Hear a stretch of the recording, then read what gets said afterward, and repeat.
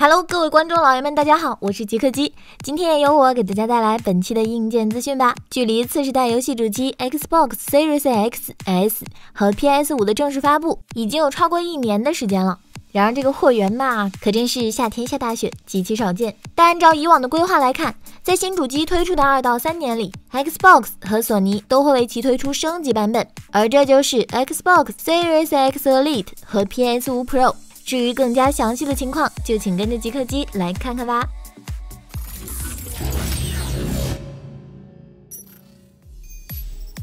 其实，在经历过两年的疫情之后，受影响最大的还得属于科技领域。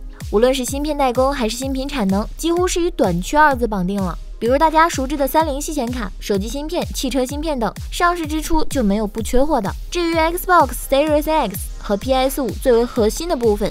AMD 定制 SOC 当然也是难逃厄运。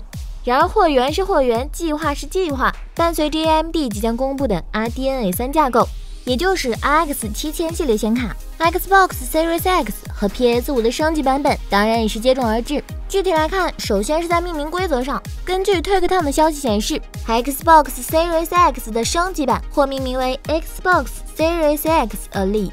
也就是直接在原有基础上引入 Elite 的后缀，做法有点类似于 Xbox 精英手柄。至于 PS 五的升级版，则将命名为 PS 五 Pro，这一点也与 PS 四时期一致。然后是在外观上，从目前曝光的渲染图上来看，Xbox Series X Elite 采用了周围方正的矩形设计，但额外引入了两条绿色的 LED 灯效，而散热出风口则放在了灯效上方，整体设计相较目前有较大变化。至于 PS 五 Pro 则大致与目前的 PS 五一样，但预计会有一些细节改动。当然，以上外观仅供参考，不排除是工程样机的可能。至于性能方面，两者核心的 SoC 芯片依然会由 AMD 定制。但在此之前，我们先来回顾一下 Xbox Series X 和 PS 五的核心规格。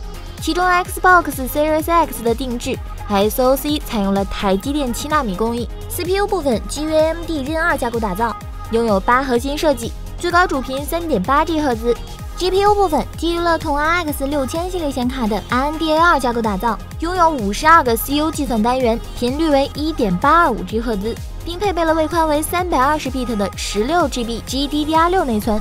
至于 PS 五的定制 SoC，其依旧采用了台积电七纳米工艺，CPU 部分基于 AMD 任二架构打造，拥有八核心设计，但最高主频为三点五 G 赫兹。GPU 部分同样由 RND2 架构打造，但仅拥有三十六个 CU 计算单元，频率为二点二三 G 赫兹，配备了位宽为二百五十六 bit 的十六 GB GDDR6 内存。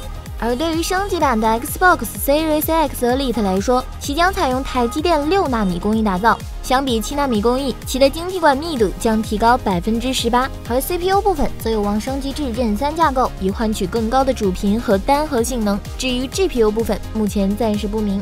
但 PS5 Pro 预计将采用台积电五纳米工艺打造，CPU 部分将有望升级至任四架构，GPU 部分也将从 RND 二架构升级至 RND 三架构，预计拥有七十二个 CU 计算单元，TDP 功耗为三百瓦。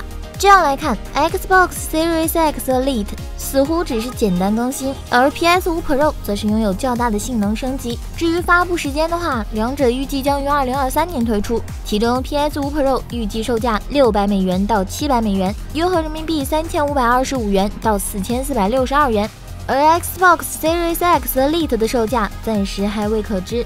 但令人意外的是，根据 TikTok 的消息显示，PS5 Pro 将会支持 8K 游戏。不过，等到2023年才发布的话，届时 AMD 的 RX 7900 XT 显卡和 NVIDIA 的 RTX 4090显卡也已发布，支持 8K 游戏的话，应该是不成问题。但是 8K 三十帧呢，还是 8K 六十帧，这就得看索尼后续的更新计划了。至于 Xbox 那边，应该还是会有对标 PS5 Pro 的机型。毕竟同样都是次世代，你有我没有，肯定是会吃大亏的。好了，以上就是本期视频的全部内容了。目前超级课的置顶动态中，也正在抽取 RTX 三零六零钛显卡、十二代酷睿 CPU 以及显示器等奖品。感兴趣的玩家们千万别错过喽！那如果还想了解更多硬件相关的消息和科普知识，记得关注超级课。我是极客机，我们下期再见。